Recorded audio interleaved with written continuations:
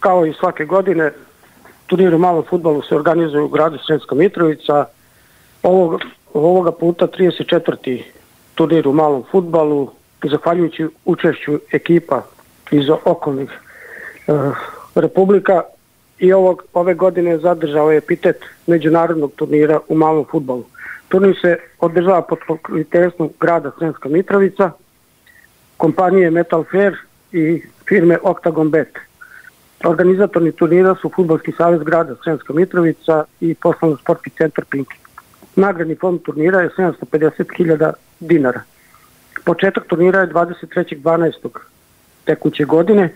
Prijeva ekipa su do 21. do 21.12. do 19 časova kada će biti i izvlačenje u foajeu sportskog centra Pinki.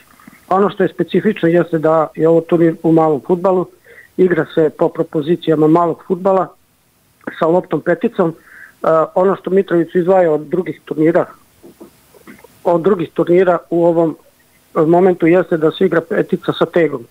To je opcijalna lopta s kojom se igra u kutiji Šibica i s kojom se još igra u Boriku u Banja Luci.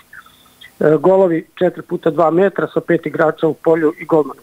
Turnir je organizovan u šest kategorija, počeo od pionira, 2008. godište i mlađi i e, starije veterane, veterani, pa zaključno starije veteranima 1977. godine i starije.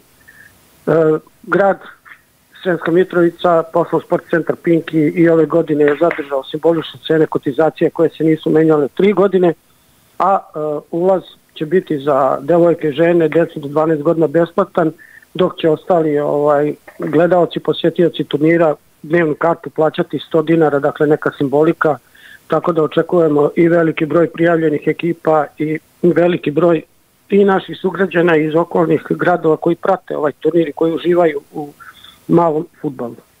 Eto, prilike to su neke, neke ovaj osnovne osnovni podaci za turnir.